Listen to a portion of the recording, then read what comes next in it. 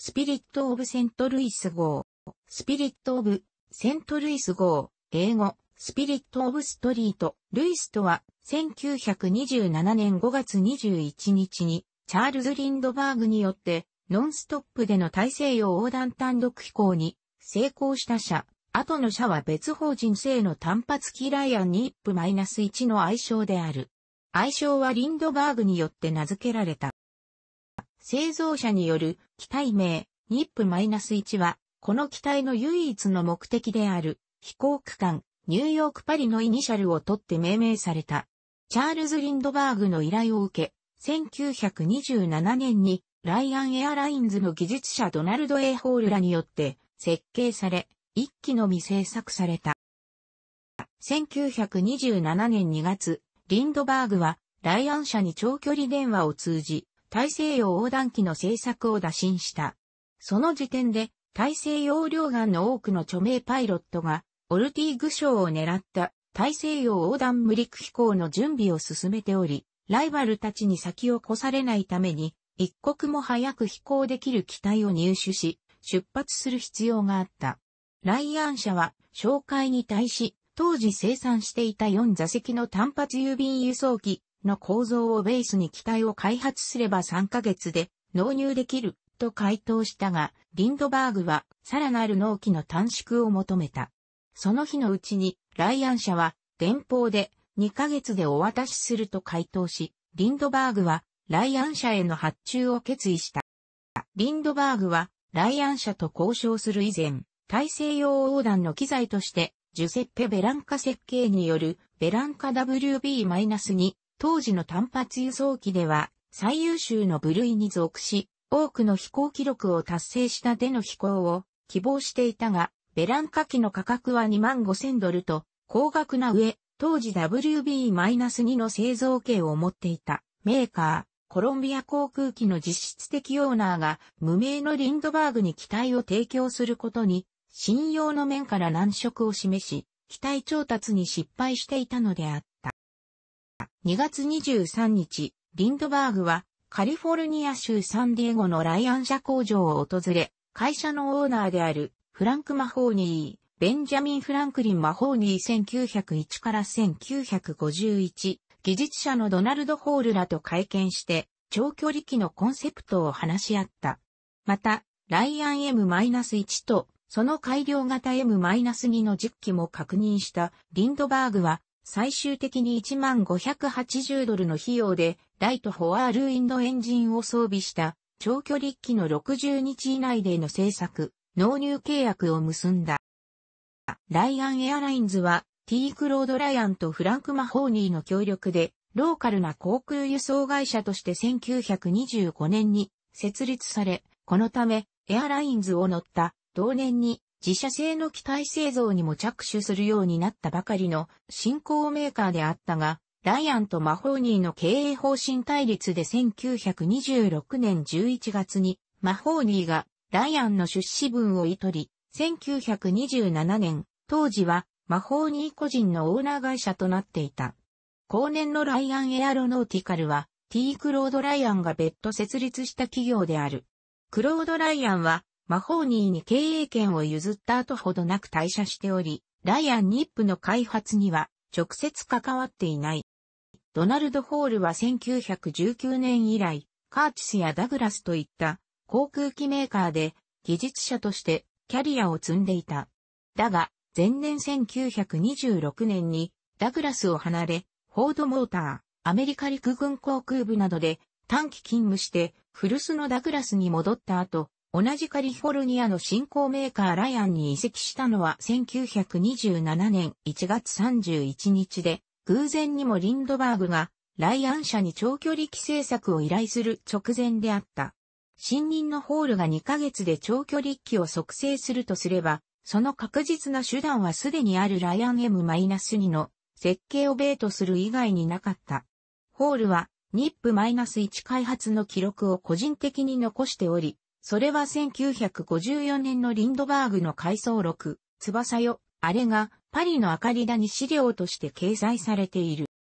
ホールとライアン社のチームは、この特別機ニップ -1 の設計、制作に特艦作業で取り組み、契約通り60日間で完成させた。ニップ -1 は既存のライアン M-2 の4000マイル飛行仕様という前で当局に登録申請され、その結果、実験機を意味する X を含む機体記号 NX-211 が付与された。完成した機体は1927年4月28日、リンドバーグの操縦でサンディエゴにおいて飛行した。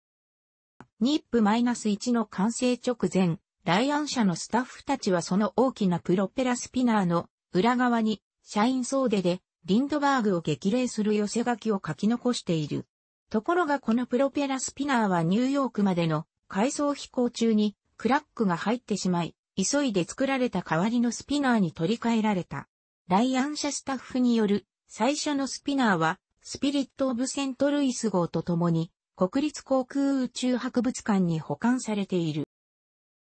なおライアンエアラインズは、リンドバーグの成功直後の1927年7月に、経営実態に合わせて、BF マホーニーエアクラフトと改称、新たに小型単発輸送機 B-1 ブロアムを開発して、一定の成功を収めたが、同年末には、マホーニーからリンドバーグの後援者であったセントルイスの実業家グループに売却され、日武器で有名になったライアンの名前を復活させて、マホーニーライアンエアクラフトと改祖された。B-1 ブロアムの生産工場は創業地サンディエゴからセントルイスに移転されている。マホーニーは運営実務を引き続きになったが、1928年末には会社を離れた。1929年6月にはデトロイトエアクラフト社の参加となり、クロード・ライアンと無関係のままにライアンエアクラフトとなったが、1930年代の大不況で経営不振となり、親会社のデトロイトエアクラフトともども事業を終えている。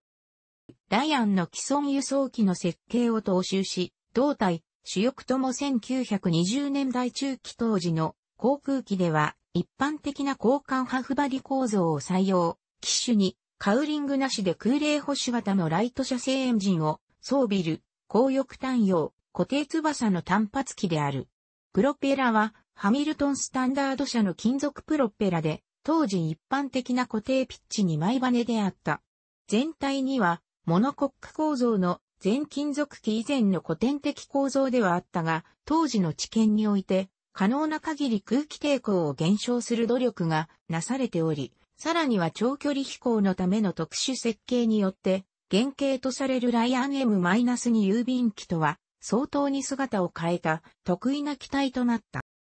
外見上大きな特徴は機体正面に窓がないことと機体全長に対して主翼の翼長が長いこと M-2 よりも約3メートル延長されたである。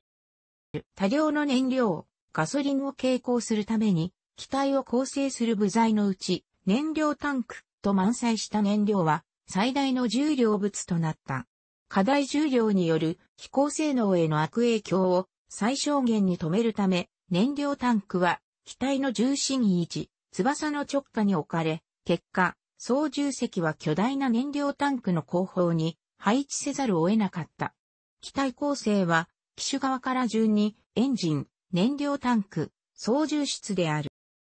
この特殊なレイアウトだと、既存機体に燃料タンクを増設した場合に生じがちな事故で機体が破壊された際、乗員が前方のエンジンと後方の燃料タンクに挟まれて、絶命という事態を起きにくいが、操縦席からは燃料タンクが邪魔をし、ガラスの風防窓を設けられず、直接前方を見ることができない構造になった。前方視認には、潜望鏡のようなものを使うか、機体側面窓から顔を出すしかなかった。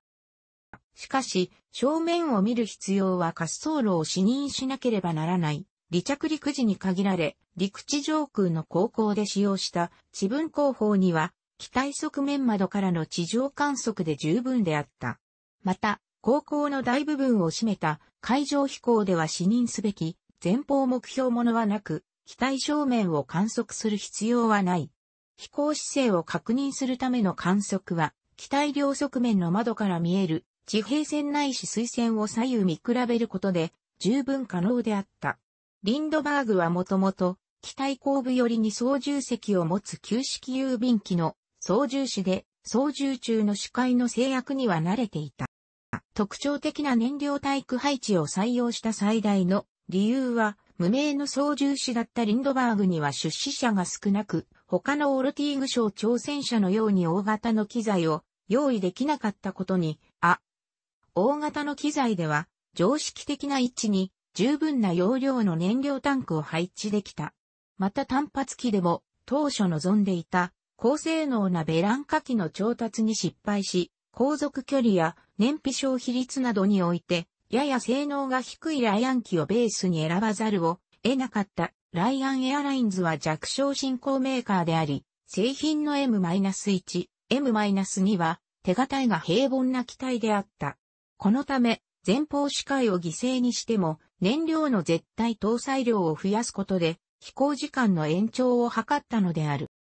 このように長距離長時間飛行能力確保に徹したニップ -1 は、しかし既存のライアン M-2 の構造をベースに、特艦開発された事情から、代償として操縦性が相当に不安定になった。それでもリンドバーグは、むしろ不安定である方が、緊張感確保に役立つとして、悪条件を飲んだと著書で語っている。燃料以外に無駄なものは一切装備せず、飛行補助に必要なコンパス類は搭載したが、無線機については、当時、航空機搭載用無線機の信頼性がまだ不十分だった一方で重量がかさむことから、あえて積まなかった。ライト・フォワールウィンドエンジンは、リンドバーグ自身の希望で採用されたもので、当時最新の最も信頼性の高いエンジンの一つであり、少年費で長時間の連続飛行に耐えうると考えられたことから、選ばれた。その長所は、当時の航空エンジンメンテナンスの課題であった、バルブ周りのオイル潤滑が自動休止機構によってエンジン稼働中に行える点にあった。このエンジンは実際に33時間半の連続飛行に耐え、トラブルも起こさず回り続けて、リンドバーグの期待に応えた。ニップに搭載されたライト J-5 フォワールウィンドエンジンの個体は、ニュージャージー州パターソンのライト車工場で、同社の1、組み立て工、トム・ラトレッジによって組まれた。ラトレッジは、リンドバーグの飛行に特段期待していなかったが、リンドバーグのパリと立つ後、彼の組んだエンジンの成功を上司から知らされたという。1927年5月20日から21日に、リンドバーグによってアメリカ合衆国のニューヨークロングアイランドからフランスパリまでの 5810km を33時間29分間29.8秒間で飛行し、オルティーグ賞とその賞金の2万5000ドルを獲得した。このことで、リンドバーグの名は世界的に有名となった。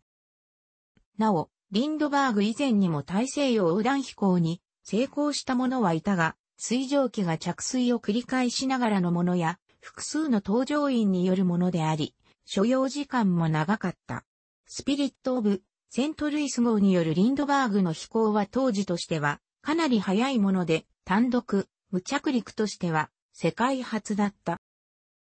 アメリカへの外戦はリンドバーグ、スピリット・オブ・セントルイス号ともども船に乗ってであった。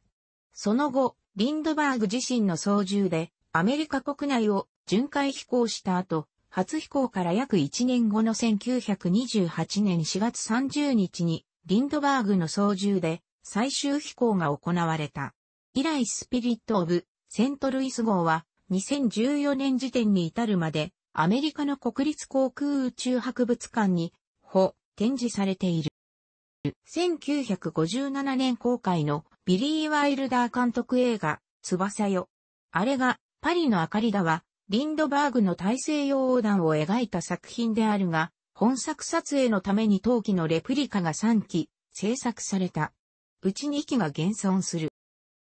楽しくご覧になりましたら、購読と良いです。クリックしてください。